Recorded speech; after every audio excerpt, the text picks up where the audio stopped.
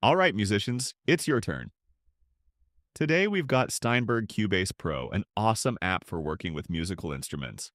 I'll walk you through downloading, installing, and getting 60 days of trial, which is a lot. But heads up, it's a bit of a journey to get set up and customized.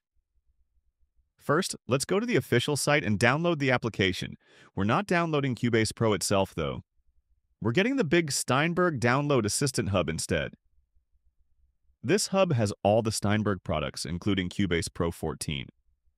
To download this hub, you'll need to create an account on the developer's website and verify it.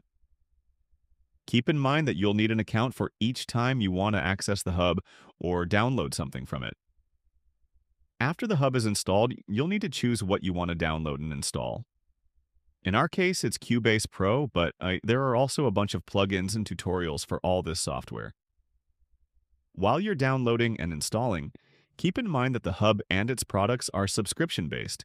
The 60-day trial is a long time, but it might change. And for folks working with music and creativity, it can fly by.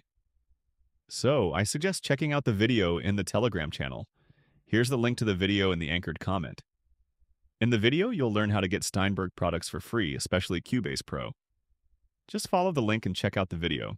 After we finished the installation, we were asked to confirm our account again, this time to activate the trial. Now, we're all set to work with Cubase Pro. As long as you've got a trial, you've got all the features so you can use the software fully. I don't know about plugins, but I think they're included in the trial account and you don't have to buy them separately. That's the gist of it. Thanks for listening, and be sure to subscribe to my channel, hit that like button, and follow along for more updates. I'm doing this just for you, and I hope you enjoy my content.